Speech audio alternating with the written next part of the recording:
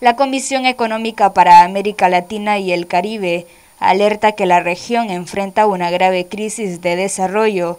Detallan que en los últimos tres años las estadísticas muestran retroceso en indicadores sociales. Una situación extraordinaria de una cascada de crisis eh, que exacerba las brechas históricas de la región. Eh, en los últimos tres años las estadísticas muestran retroceso en indicadores sociales que realmente amenazan y significan pasos atrás en el cumplimiento de los objetivos de desarrollo sostenible.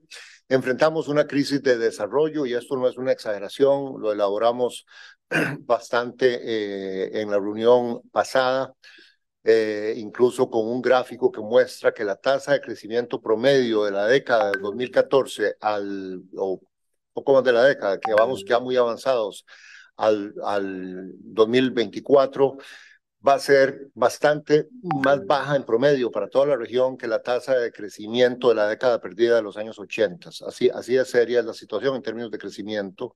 Estamos entonces en un punto de inflexión como países, como región. Necesitamos actuar con sentido de urgencia, elevar el nivel de ambición eh, y de nuevo, con ese dato es para decir que esto no es nada más un decir, un eslogan, es, realmente un propósito y una acción que debemos tomar.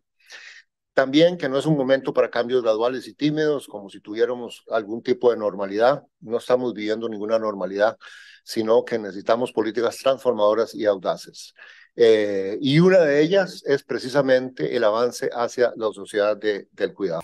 El secretario ejecutivo de la CEPAL, José Manuel Salazar Sirinash, dice que una de cada tres mujeres ocupadas se emplean en el sector de la economía del cuidado en América Latina y el Caribe, el cual está integrado por los subsectores de salud, educación y trabajo doméstico remunerado. Uno de cada tres mujeres ocupadas se emplean en el sector de la economía del cuidado, que está integrado por tres subsectores básicos, el de salud, el de educación y el trabajo doméstico remunerado. Este eh, es un sector, o sea, el sector eh, de economía del cuidado en general, eh, claramente feminizado y a la vez clave para la vida y el bienestar y decimos que hay que cuidar a quienes cuidan. Sesiones, que fue sumamente importante, a, raíz de todo el diagnóstico de, dónde está el, momento actual, la coyuntura, el proceso de globalización y sobre todo la realidad de América Latina, sintetizamos en estas 10 áreas eh, los retos. Y no se trata aquí de que vuelva a repetir, eh, ¿verdad? Porque cada una de estas áreas es un campo muy amplio, pero lo que quería señalar eh, nada más es, primero, bueno, pues una idea de, áreas que son fundamentales, eh, pero también que una de esas áreas precisamente en la que estamos trabajando y seguiremos trabajando es la igualdad de género y la sociedad del cuidado.